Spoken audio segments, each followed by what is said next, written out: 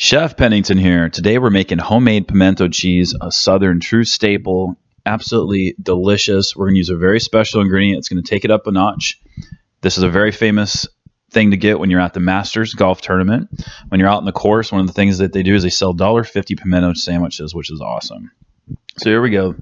We're going to start off with some sharp cheddar and some extra sharp cheddar.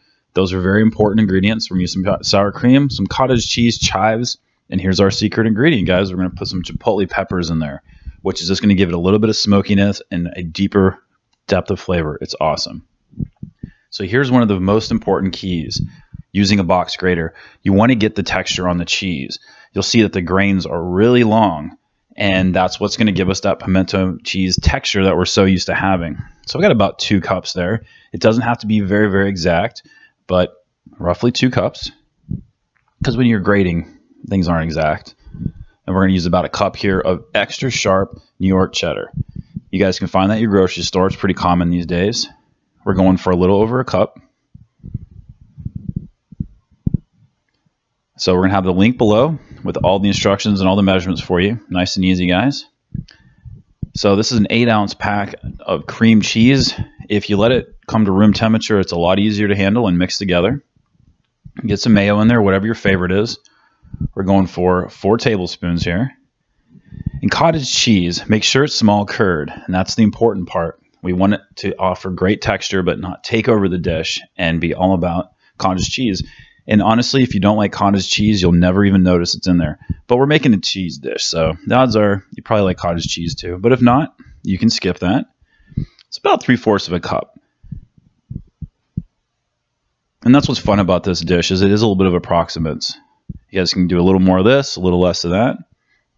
But the recipe I've got on the website is what I exactly did, and it turned out phenomenal. So I'm going to take two chipotle peppers. These ones aren't very large. And I'm going to mince them up as much as possible. Don't worry about the seeds. The seeds have been roasted. The whole pepper is much sweeter. This is not hot. This is more of a smoky flavor. So what I got in there was two teaspoons total, two te heaping teaspoons. So you could go full tablespoon, but I wouldn't. I'd just do two and bring all that together. Now, the reason we're mixing this up separately is we want to make sure that the, the, the, cheese that we took the time to grate doesn't just get mushed into mush. We want to keep the textures. So we're going to add some chive.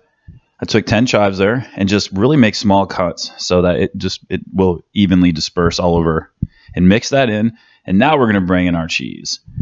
And we're going to lightly fold everything together and that's the way you do it. And that's part of the trick right there. We're preserving the texture of our grated cheese.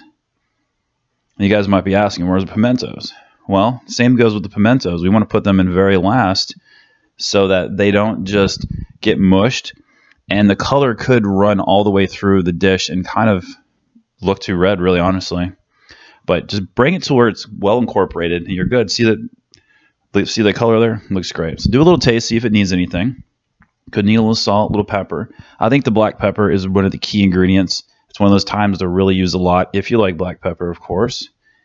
And then you're going to want to let this set up in the refrigerator for 24 hours or overnight. The flavors are so much different the next day and then the day after and the day after. So it's really amazing to, to kind of have your pimento cheese sit in the fridge only getting better for you. It's pretty cool. So do cover it. Pretty important. And there you guys go you guys have got delicious pimento cheese. Come join us on social media. We'd love to have you guys over there. Go ahead and subscribe and hit the like button if you enjoyed. Everything, all the measurements, everything will be on the website. And you guys have the best. Take care.